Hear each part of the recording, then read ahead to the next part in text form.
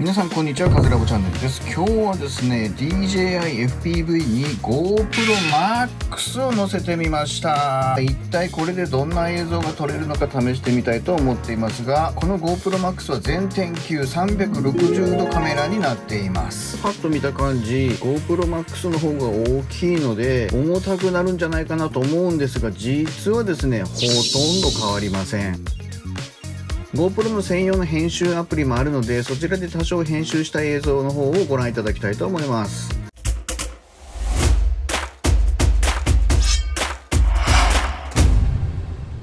まず動作確認の方をしてみました。風はほとんど吹いていない。そよ風があるかないかというような状況です。まず安定性を見てみたんですが GoPro Hero 9の時と同様に全く問題なくビタッと止まったように飛行できます。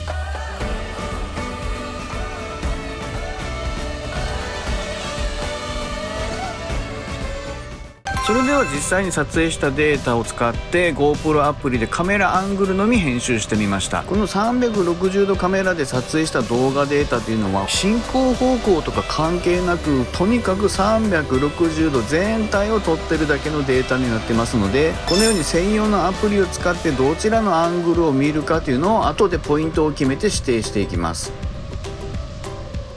そしてこのようにですね地球儀のような編集することもできますしその逆もできますしそして進んでる方向を設定することもできます。ドローン自体も映しながらっていう編集もできるのでこれまでの搭載しているカメラではできなかったことが可能になっていると思います。今回わざとこの映像自体が縦で見ると面白いかなと思って設定していますが横の16対9にももちろん設定できます。